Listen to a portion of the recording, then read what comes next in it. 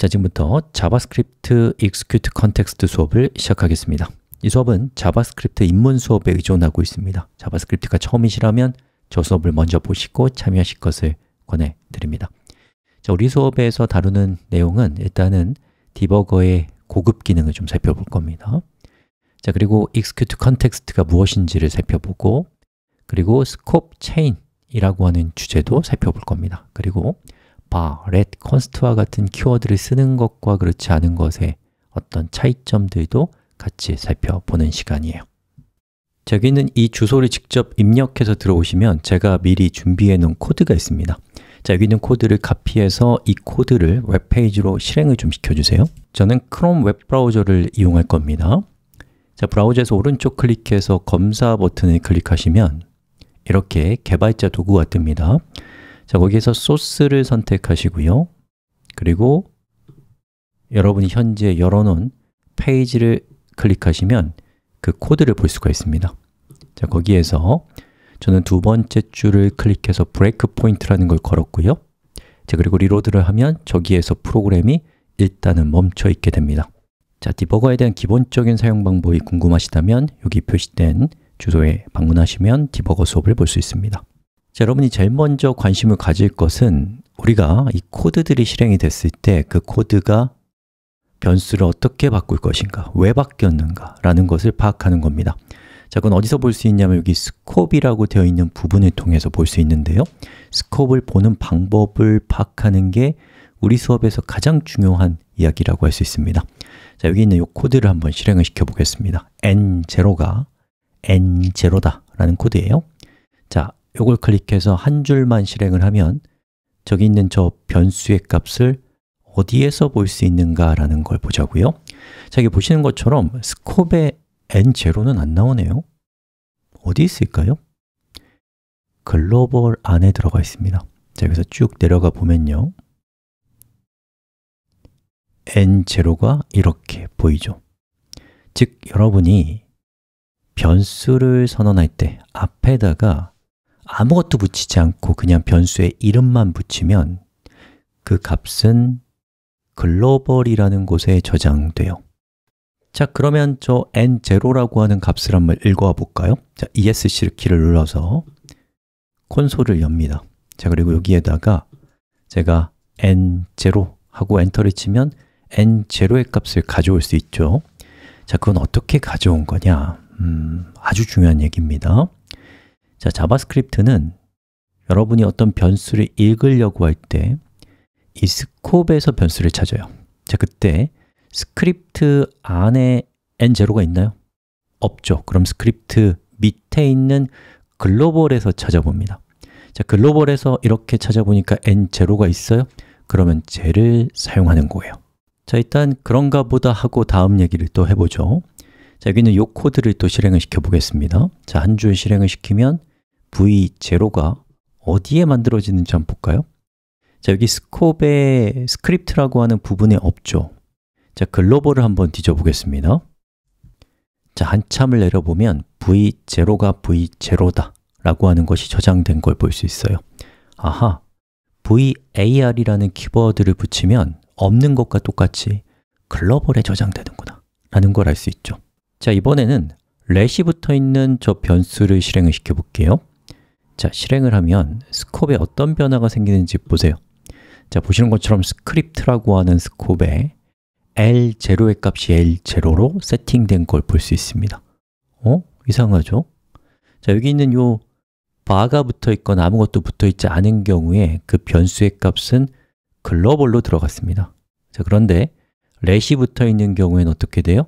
보시는 것처럼 script라는 곳에 값이 저장된다는 걸 볼 수 있어요 자, 이 상태에서 우리가 여기다가 L0라고 하고 엔터를 쳤을 때 저 가져오는 값은 어떤 과정을 통해 가져오느냐. 자바스크립트는 script scope에서 먼저 뒤져보는 거예요. 근데 거기에 L0가 있죠? 그러면 저걸 가져오고 그 밑으로는 확인해 보지 않습니다.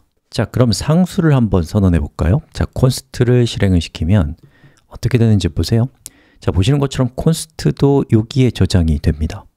자, 그러면 여기 있는 여섯 번째 줄에 있는 이 코드를 실행을 하면 어떤 결과가 나오는지 한번 볼까요? 자, 실행을 시켰을 때 보시는 것처럼 L0, N0 전부 다 표시가 되니까 저기 있는 각각의 변수들을 모두 가져올 수 있었다라는 걸 보여주는 거죠. 자, 그 다음에 일곱 번째 줄에 보면 윈도우라고 하는 것이 이렇게 등장하는데요. 저 윈도우가 뭔지를 좀 살펴봅시다. 자, 여러분 global이라고 적혀 있는 저 scope의 옆에 보시면 window라고 되어 있어요. 웹브라우저에서 동작하는 자바스크립트는 window 객체가 글로벌 객체 또는 global scope이라고 할 수 있습니다. 자, 무슨 말이냐면 자, 여러분 여기에다가 코드를 작성하는데 alert 1이라고 하고 엔터를 치면 어떻게 돼요? 경고창이 뜨거든요 자, 그럼 저기 있는 alert은 어디에 있는 애냐? 자, global로 가보면요. 글로벌 밑에 보시는 것처럼 alert이 이렇게 있어요. 그리고 alert은 window에 속해 있어요.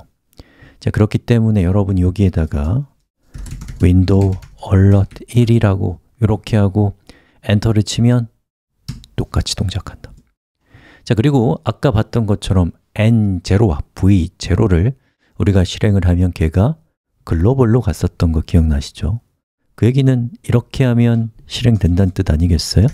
window.n0 enter 실행되고요 window.v0 실행이 되죠 자, 여러분이 어디에서 코드를 실행하건 간에 scope상에서 항상 global이 바닥에 깔려 있습니다 그 얘기는 뭐냐면 어디서 실행하건 결국에는 global에는 접근 가능하다는 거예요 그렇기 때문에 이 global을 예, 어디서나 접근 가능하다는 뜻에서 global이라고 부르는 것이고 JavaScript는 그것을 window 객체에 저장한다라는 겁니다.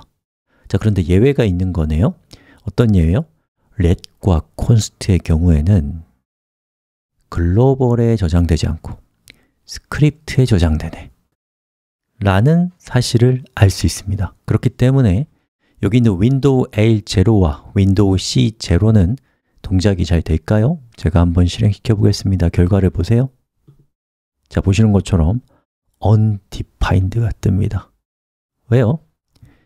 자, 여기 있는 v0와 n0는 scope에서 script에 없으니까 global을 뒤졌을 때 나왔겠죠 자, 근데 L0와 C0는 어때요? window.l0를 찾는데 이 안에는 L0와 C0가 없으니까 여기에 있으니까 찾을 수 없다는 뜻에서 undefined가 뜬 거예요. 자, 여러분 그러면 이제부터 fn1 함수로 dive 해볼 겁니다. 자, 제가 현재 scope과 call stack에 대한 캡처를 왼쪽에다가 띄워놨는데요. 제가 fn1 함수로 dive 했을 때 scope과 call stack이 어떻게 바뀌는지를 한번 보자고요 자, 여기 있는 이 버튼을 클릭하겠습니다. 하나, 둘, 셋. 자, 화면을 잠깐 멈춰놓고 관찰해 보세요. 자, 보시는 것처럼 콜스택이라는 곳에 우리가 실행한 함수 이름이 보여요. 자, 콜스택이란 건 뭐냐면 자, 우리 수업의 중심 주제인 execute context가 콜스택이라는 곳에 쌓여요. 자, 여기 있는 어너미너스를 클릭하면요 자, 보시는 것처럼 이전 화면과 똑같아지죠. 그리고 우리가 이전에 접근할 수 있었던 변수들이 스콥에 보입니다. 즉, 어너미너스라고 하는 첫 번째 스택은 여기 있는 이 코드에서 저 함수 말고요. 함수 바깥쪽에 있는 코드들이 접근할 수 있는 스콥을 보여주는 거예요. 자, 그리고 fn1을 클릭하면 fn1이라는 이 함수에 있는 코드들이 접근할 수 있는 변수의 스콥을 보여주는 거다.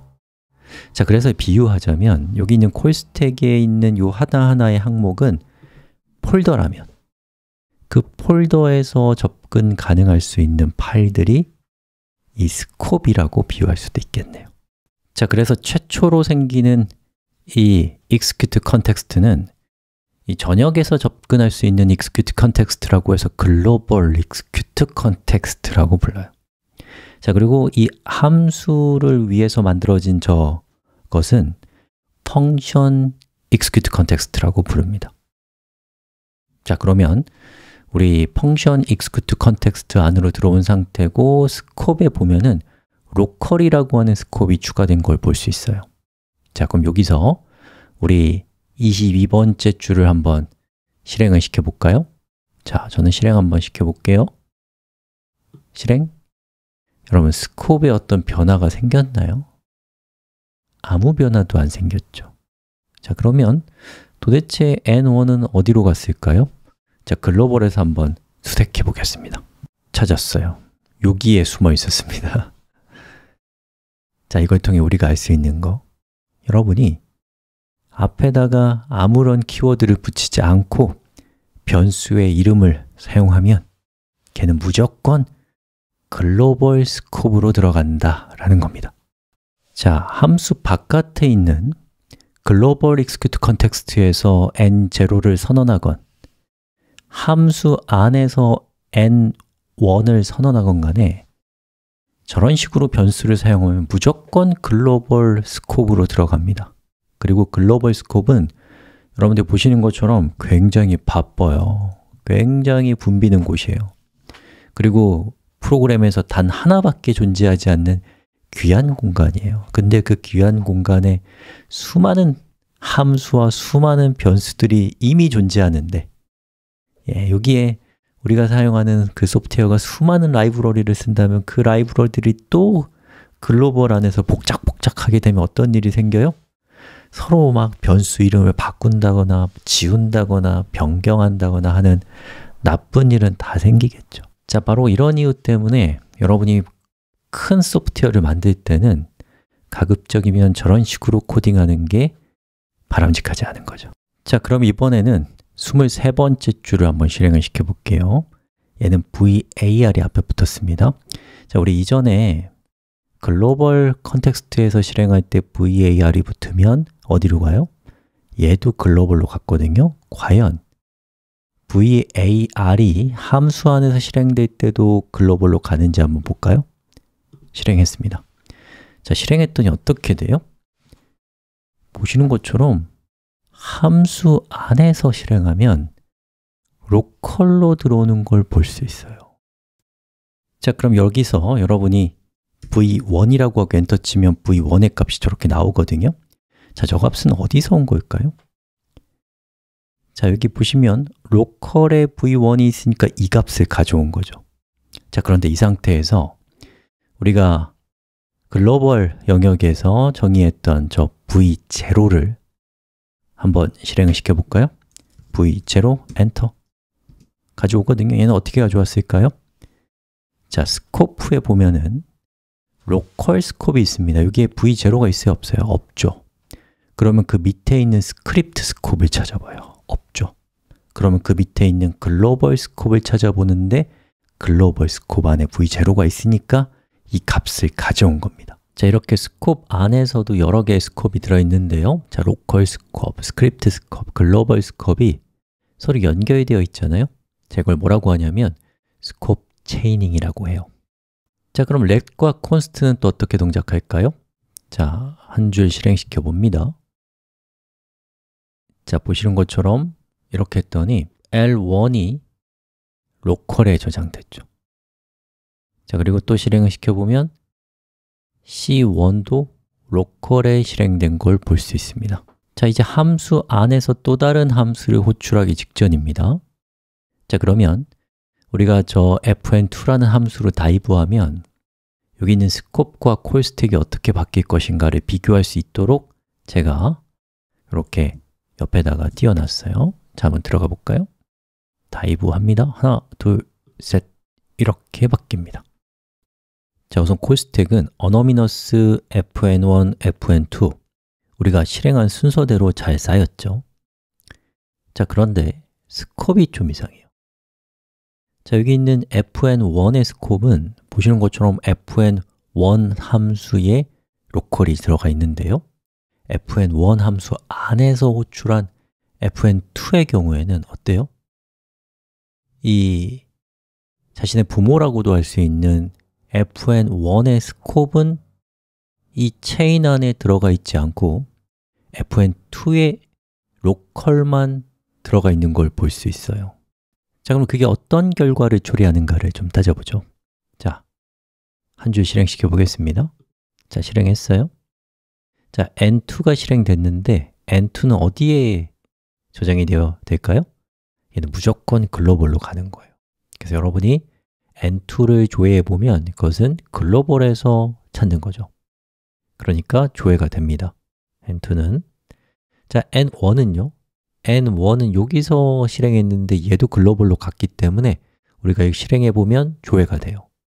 N0는 역시나 글로벌에 들어가 있기 때문에 실행하면 잘 찾아올 수가 있습니다 자, 실행해 볼까요?